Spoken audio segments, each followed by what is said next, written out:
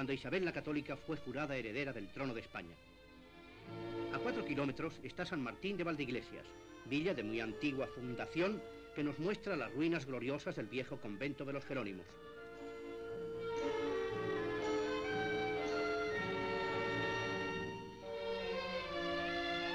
En su crucero, en sus basamentos, en sus archivoltas iniciadas, en sus ojivas esculpidas, aún se conserva patente el señorío de la arquitectura. En contraste con el pasado vencido por el peso de